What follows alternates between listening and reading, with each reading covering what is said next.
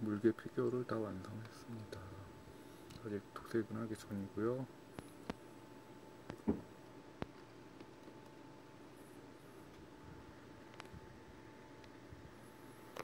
시간은 한 6시간? 5시간? 그 정도 총 걸려서 만든 것 같습니다.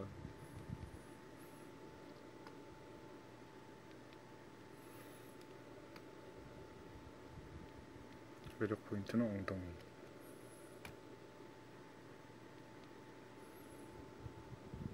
한쪽 봐 들고 있고